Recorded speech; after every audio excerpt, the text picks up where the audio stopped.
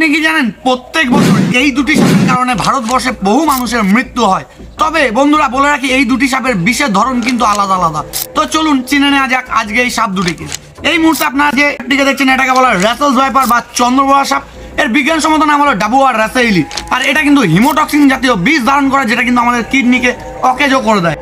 আর এদিকে আপনারা যে সাপটিকে দেখছেন, এটাকে বলা হয় স্পেকটিক্যাল কোবরা বা গোকরো সাপ। হিন্দি থেকে গমান সাপও বলা হয়। আর এই সাপটি কিন্তু নিউরোটক্সিক জাতীয় বিষ ধারণ করে, যেটাকে কিন্তু আমরা নার্ভ বিষ বলে থাকি, যেটা আমাদের নার্ভ সিস্টেমকে কিন্তু অকেজো করে দেয় এবং রক্তকে কিন্তু জমাট বাঁধিয়ে দেয়।